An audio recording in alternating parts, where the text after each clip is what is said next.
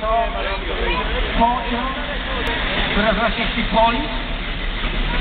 Piękna transformacja na zastosowania. Popatrzcie Państwo na te luksusowe wagony. I oni mogą zobaczyć, co się dzieje w To jest historia, trzeba powiedzieć. Nie zobaczą parady parowozów, ale my mamy.